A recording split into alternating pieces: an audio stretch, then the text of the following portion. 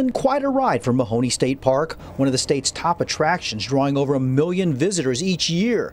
These girls from Council Bluffs, Iowa, enjoying a trail ride. It was pretty. There was a bunch of wildflower flowers scattered all over, and the trees were really pretty. There were a lot of trees. Yeah. The park, nestled between the state's two largest cities, is a blend between discovering nature and a family resort. It's pretty cool. It's, it's like it's the, probably the nicest park we've been to so far.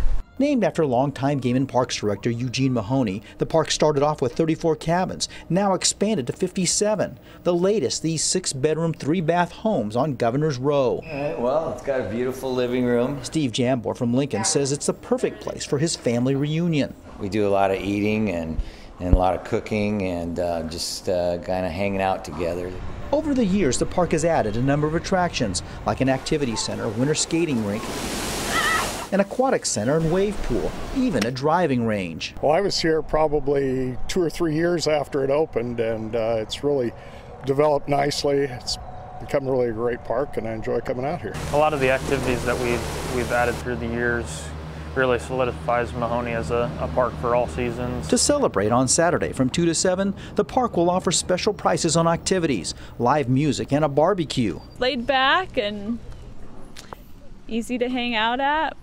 So it's a fun place. At Mahoney State Park, Andrew Ozaki, KETV, Newswatch 7. Oh, my kids love the wave pool.